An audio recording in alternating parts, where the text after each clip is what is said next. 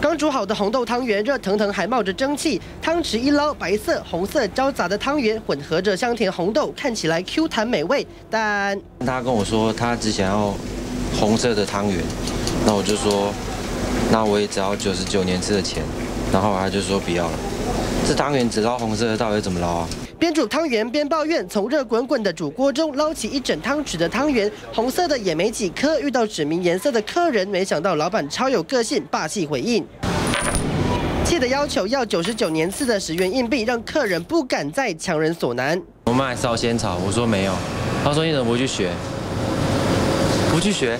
指定颜色问没卖的，老板见招拆招，让客人不再为难。各式各样的客人与突发状况每天都在发生，连花脸也有。花莲知名冰果是明明芋圆有三种颜色，红的、黄的跟紫色，偏偏有客人专挑紫色芋圆。同一家店还有人红豆汤不要红豆，胶原养生汤不要红枣枸杞，让老板真的很为难。花莲有三种颜色的地瓜，嗯对，有红的、黄的、紫的。嗯，有些客人会挑说，哎，我只要吃紫色的。到底红色汤圆有什么魔力？难道跟过年求福气有关吗？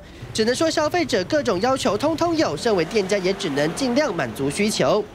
记者廖威玲、吴彩纯、曹维生综合报道。